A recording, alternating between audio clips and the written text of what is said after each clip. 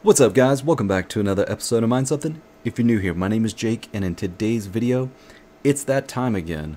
LOL Miner, BZ Miner, and Rigel Miner all released new versions on the same day and we're going to see who takes the top spot once again for mining Nexa.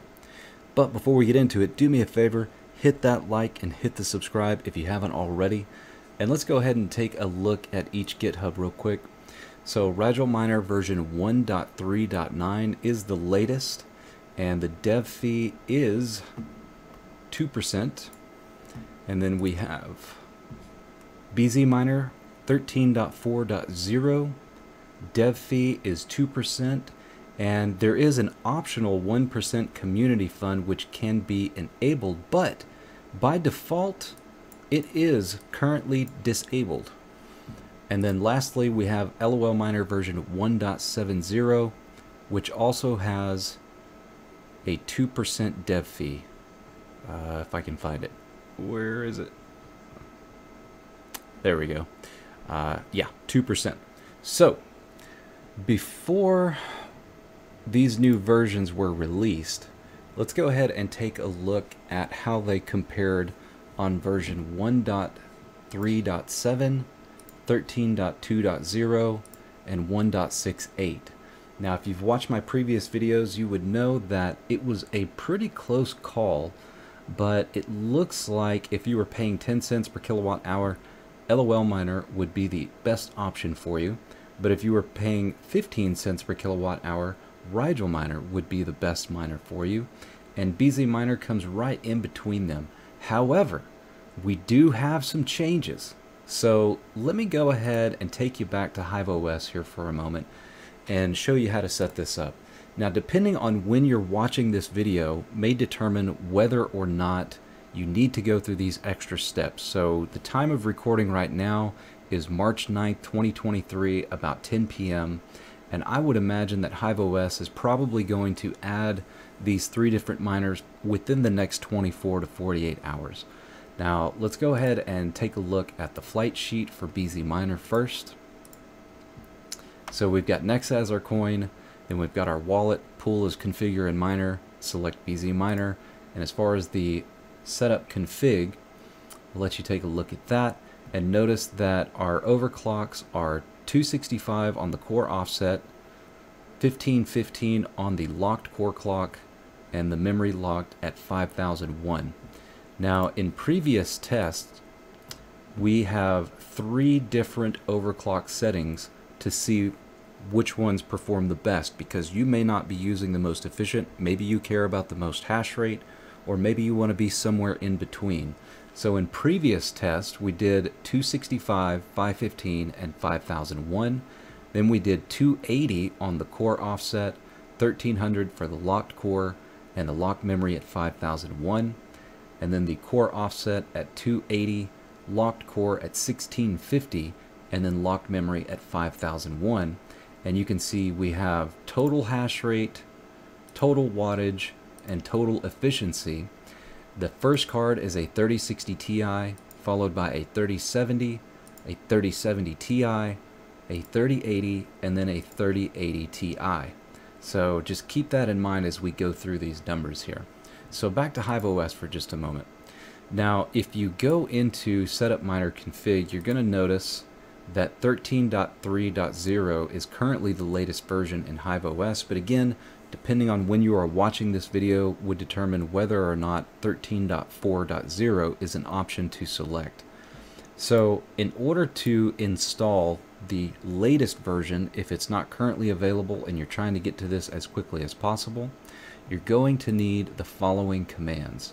So we can just copy this whole thing here. We're going to go back to Hive OS. We're going to launch the Hive shell. Now you can use the run command, right click and paste that command in here and run it from this screen. However, I like to use the Hive shell so that we can see for certain that it has installed successfully. So as soon as this is done, we will launch the Hive shell, and I'll show you how to do that.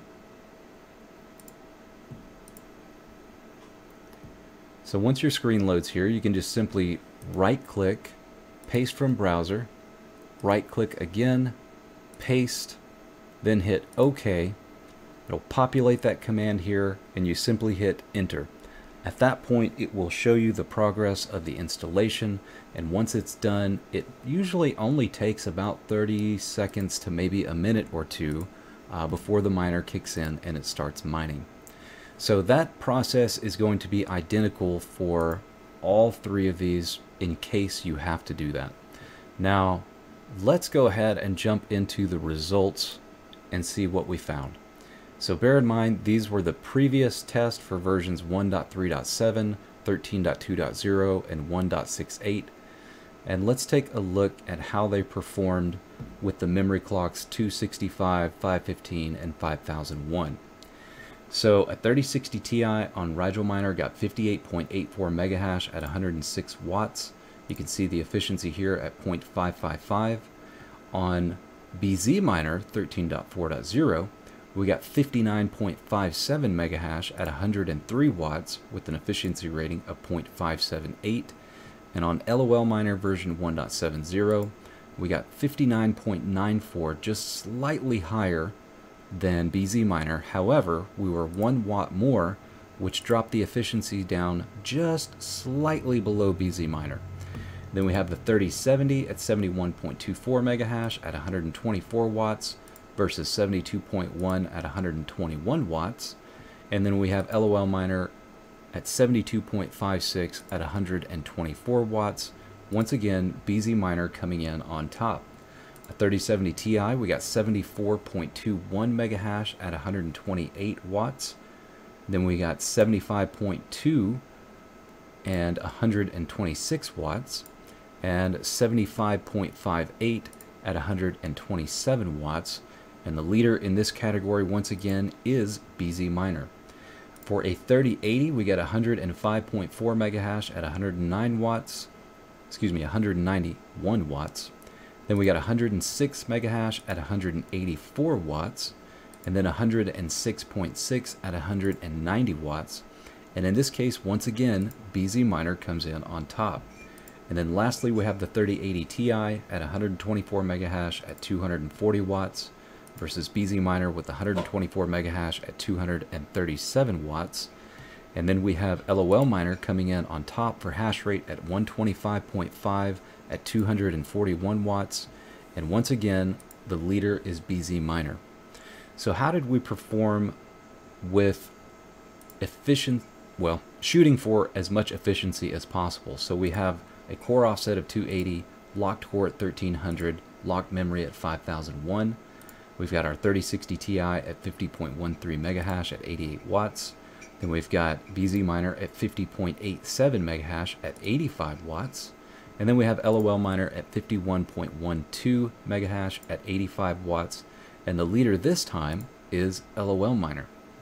Now we've got the 3070 at 60.12, 102 watts, 56.87 at 96 watts.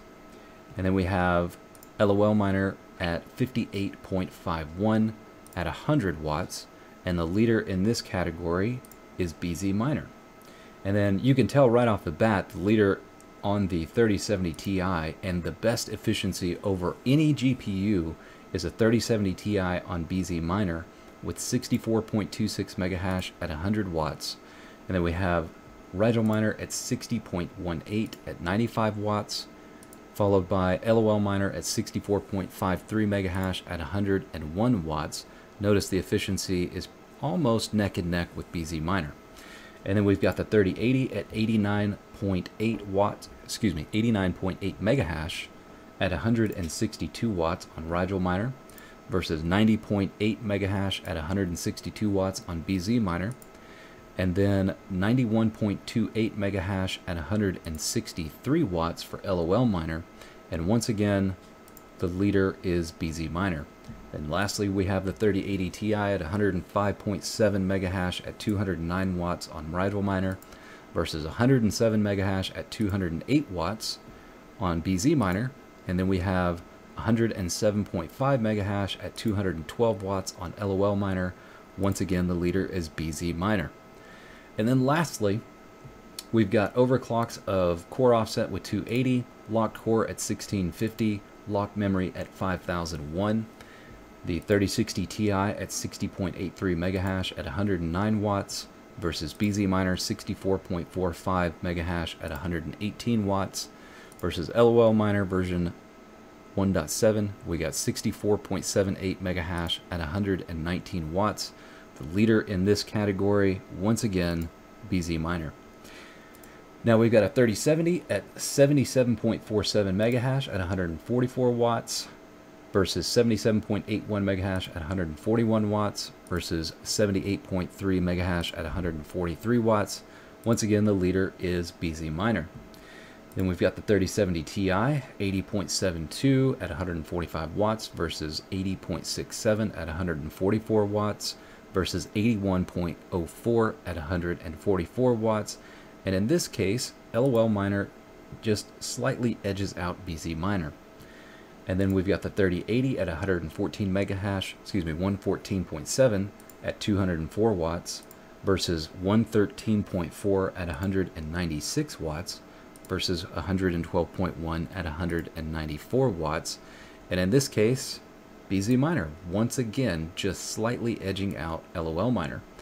And then lastly, we got the 3080 Ti at 129.4 megahash at 246 watts versus BZ Miner's 131.7 at 246, which is actually more than LOL Miner at 130.4 at 236 watts. Notice we've dropped 10 watts here on LOL Miner, uh, which does put it in first place for a 3080 Ti as far as efficiency is concerned. So, how did we do in regards to revenue and profit? The winner is BZ Miner at $1.43 in profit after $6.87 in revenue, with a very, very close second to LOL Miner with $6.89 in revenue and $1.41 in profit. And it looks like they are edging out Rigel Miner by a significant margin at $6.81 and $1.32 in profit. Bear in mind, this is at 10 cents per kilowatt hour. And in the last test, we did at 15 cents per kilowatt hour, but unfortunately, uh, the difficulty changes and price fluctuates, so these numbers won't reflect correctly. So we're just going to stick with this. But regardless, it looks like BZ Miner is actually the winner by a very, very small margin over LOL Miner. Now, of course, keep this in mind. The only thing that truly matters is how many shares you are submitting at the pool, and the only way to properly test this is to be on a static difficulty pool or a non-VAR-diff pool. So having said that, these are all extremely close. I don't think you could go wrong with any one of them, but I hope you enjoy the content and do me a favor before you go. Hit that like if you haven't already and subscribe if you haven't. I'll see you guys on the next one.